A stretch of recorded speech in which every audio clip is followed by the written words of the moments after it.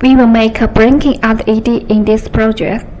First, let's do the Y connection according to the connection diagram.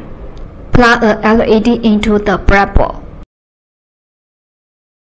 Connect positive end of LED to a 220 ohm resistor.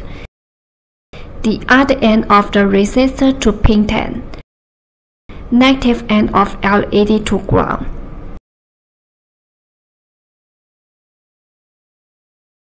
Finally, connect this board to computer with a USB cable. Firstly, take a look at the sample code. You can see no libraries needed. Copy sample codes from supporting file and paste them here. Click Tools. For board, select Arduino Uno. For port, select COM3. Then click Verify to check compiling mistakes. And if the codes are correct, click Unload to unload the codes to the board. After unloading is complete, you can see the LED being on and off with an interval of 1 second. Test is now complete. Thank you.